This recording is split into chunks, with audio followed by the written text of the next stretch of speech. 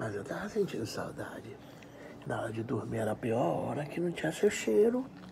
Eu tava, eu tava dormindo sem seu cheiro. Aí não tava bom isso não. Meu Deus, cadê minha cachorra? Meu Deus, como é que tá minha cachorra lá? Eu ficava pensando mil coisas assim. Mas, ah, meu Deus, se minha cachorra morrer, eu morro. Eu pensava assim. Porque falaram que você, também não quis comer. No primeiro dia, depois você bateu um pratão de pedreiro, meu. Disseram coisa. Eu tava recebendo as fotos toda, mulher. Toda. Disseram que você pegou esse porco espinho rosa, botou pra dormir na minha cama no meu lugar, mulher. Mulher, por que você fez isso, mulher? Porque também falaram muita coisa de você, que você se juntou, os meninos ficou falando mal de mim pelas costas. Dizendo que eu, quando eu queria viajar, não pensava em ninguém. Mandava todo mundo voar, que eu era esse protetorzinho todo que eu digo nas redes sociais.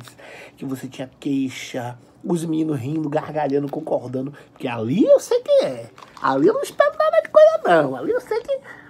Ali eu sei que vira contra mim na hora. Enfim, eu tô nu. Peraí, não bote a câmera para lá, não, que eu tô nu. Viu? Eu tô fazendo um duelo. Eu e você, a gente tá no elo, que a gente tá conversando no chão, porque tá mais frio e a gente tá com calor. Mulher? Mulher? Ó, mulher. Eu vou dizer uma coisa pra você. Na hora mesmo que tava dormindo lá, eu disse, meu Deus, eu queria agarrar com minha cachorra aqui, ó. Ficar agarrado com ela, nós dois, que a gente é junto mesmo. A gente é muito agarrado. E ela falei assim, eu quero minha cachorra, traga minha cachorra, rapazinho, minha cachorra. Mas na hora o rapaz do trabalho falou, não pode. Ela não vai vir. Aí eu disse, epa, moço, não fala assim dela não. Não fala assim dela não. Eu falei pro rapaz, não vai pra você agora não. Aí quando eu falei isso, aí o rapaz, eu, eu, falou, mas ela tá lá, acabando com sua vida, com os meninos, que você tava aqui, e eu recebendo só as fotos, só os vídeos. E você numa gargalhada, uma gaiofada com os meninos em cima da minha cama. E os meninos correndo pra lá e pra cá. E os PF de ração descendo, exagerado. Comeram quase meio saco, porque eu não controlei. Eu tava controlando ração. E você, e você no fuzuê. Você também tava no fuzuê, que eu vi. Eu vi lá embaixo no vídeo. Minha filha. E não era, não era pra você ficar nesse fuzuê tudo. Era pra você cuidar da casa, passar uma vassoura, passar um pano. Entendeu? Pegar seus porcos, espinhos, dar banho, passar talco, botar tudo assistindo Tom Jerry. Você não fez nada disso. Não fez, não. E eu lá morrendo de saudade. Querendo morrer porque tava sem seu cheiro. Porque eu disse, meu Deus, o cheiro da minha cachorra, meu Deus. E ela tá sem banho. Ela tá sem esse banho todo. Porque eu não tive tempo. Porque se eu ficar em casa mesmo amanhã, eu vou pegar, vou dar banho. Amanhã eu dou banho. E amanhã vai ser eu e você. E amanhã o ódio vai comer no centro. Mas eu vou dar banho. Viu? Eu vou dar, sabe por que eu vou dar banho? Porque quem agarra, fica agarrando aqui, sou eu, o povo da internet, não sente o cheiro que eu sinto.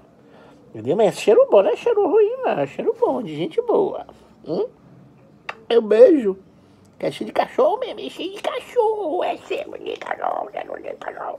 Mas eu vou dar banho. Viu? Amanhã, domingo, nós dois, eu e você.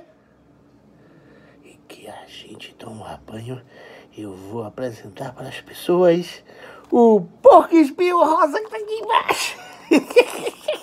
Moleque, está todo rasgado. Olha o estado desse porco espinho. Olha o estado. Dá pra ver o cérebro e ver que ele não tem. Menina! E por que você não pegou outro que faz fit-fit? Por que você é assim?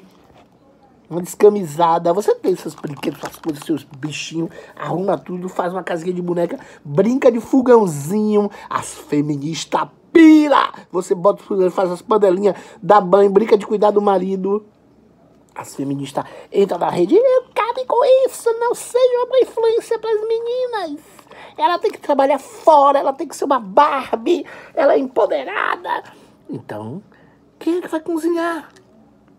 Se for minha mulher, ou minha mulher cozinha, reveza. Se um não sabe cozinhar, o outro lava o prato. Mas cada um tem que ter uma obrigação. Obrigações domésticas não diminuem pessoas. Elas são um prazer. E quando a gente gosta de estar junto, é bom fazer junto. Então por que isso?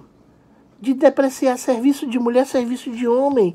Não existe isso. Os homens podem fazer tudo e as mulheres também. E seus companheiros devem ajudar suas companheiras. Para que tudo fique bem, todo mundo fique feliz. A mulher cozinha, o homem lava os pratos e guarda. Não é, minha filha? Porque certas ideologias estão destruindo as relações das pessoas, afastando elas e tornando elas pessoas problemáticas, solitárias e vazias, meu amor. Vai ficar junto, agarrado, bora.